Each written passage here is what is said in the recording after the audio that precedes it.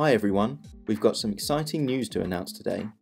We're open sourcing the Tracktion Engine codebase so developers can build apps based on the same powerful engine that Waveform runs on.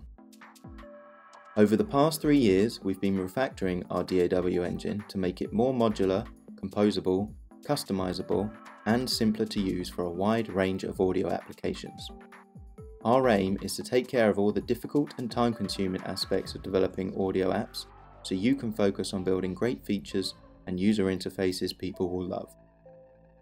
Tracktion Engine defines a high-level document object model for time-based sequenced audio applications and provides an API to create, modify and play these back. Create an engine object, or arrangement object called an edit, and add some elements to it such as audio files, MIDI and plugins, then play it back or render it to an audio file.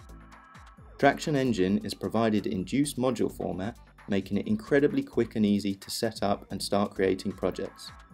We've included a bunch of examples and accompanying tutorials along with scripts to build them so you can get up and running with the minimum of fuss. More information can be found in the repository's README. Over 15 years of development has gone into making and testing an engine that's capable of almost any modern DAW task and some innovative features unique to us.